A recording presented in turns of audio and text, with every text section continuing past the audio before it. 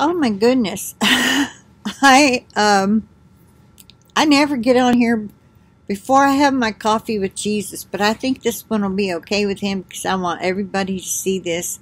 And some people may only watch for a little bit in the morning. Predictive programming put out yesterday of alien invasion.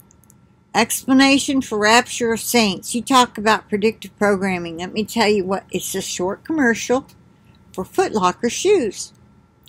And it shows a big, huge old alien ship coming over, shooting down beams, pulling people up. And meanwhile, while everybody else is scrambling and screaming and running, about half of them are all thrilled because they can get in a Foot Locker shoe store and get themselves a free pair. And they show some people squatting down saying, I need a 13. I need a 2.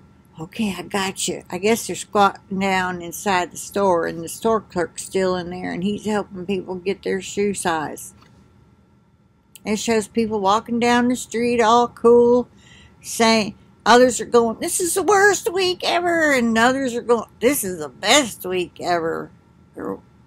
You got to see it. I'll leave a link. Bye for now. Got to go talk to Jesus about this one. Ha ha. Oh my goodness. Are we getting close or what? And I got some other things. See, my email pops up. I get on just to check the weather because it's looking really awful out there. And that's all I wanted to do was check the weather and the email pops up and I see these things and I'm like, what, what, what? I got it. Had to check out this one. anyway, I'm going to leave a link. I'll talk to you later.